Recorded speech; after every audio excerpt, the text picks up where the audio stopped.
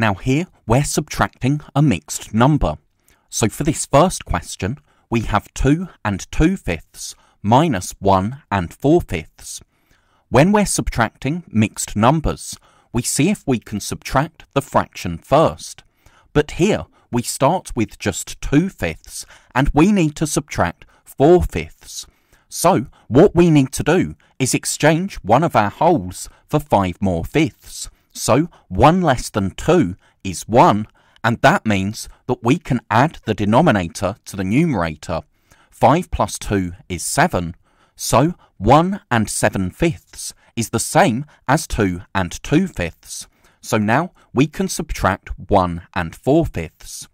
We subtract the fractions first, and 7 fifths minus 4 fifths is 3 fifths, because remember, we keep the denominator the same.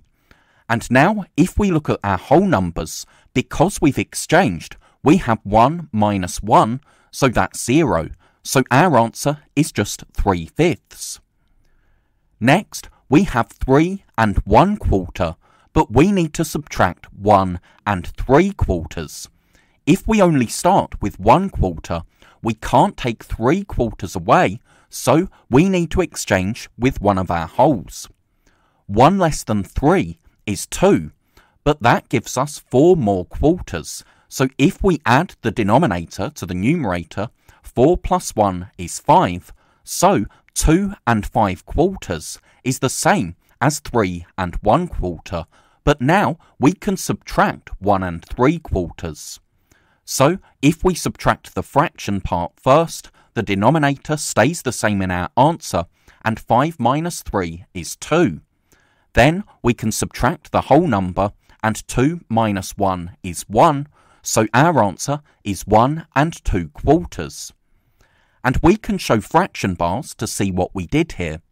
So we started with 2 and 2 fifths, so that's 2 wholes and 2 fifths.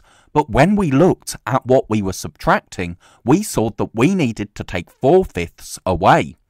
So we exchanged one of our wholes for five more fifths.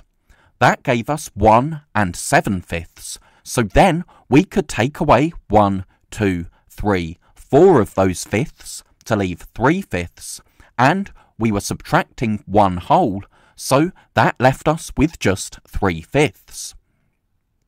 Next, we had three and a quarter, so three wholes and one quarter, but when we looked at what we were subtracting, we saw that we needed to subtract three quarters. So we had to exchange one of our wholes for four more quarters. That gave us two wholes and five quarters. So then we could take away three quarters and then subtract the one whole to give us what's left in blue, which is one whole and two quarters.